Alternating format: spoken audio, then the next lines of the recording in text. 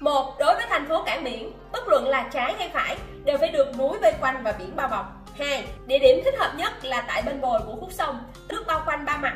Không thích hợp đặt tại bên lỡ có hình cánh cung ngược của dòng sông. Là khi đứng cạnh dòng sông, nước chảy từ phía sau về phía trước, tay trái là tả tay phải là hữu ngạn nếu hai bên bờ nước thẳng thì bên phải là tốt, còn bên trái là xấu. Ba, nước được ví như là mạch máu của rồng. Dung hòa thì nội khí mới tụ lại. Nên ở những nơi có mực nước sâu thì người dân ở đó sẽ sung túc. Mực nước cạn thì cuộc sống của người dân trở nên nghèo nàn. Nước tốt không những quan trọng đối với phong thủy, mà còn tốt cho sức khỏe.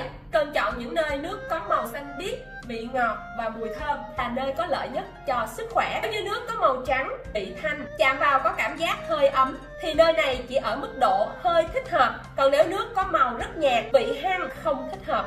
Nếu nước có vị hơi chua chát, thậm chí còn bốc mùi hôi, chứng tỏ đó là mảnh đất xấu.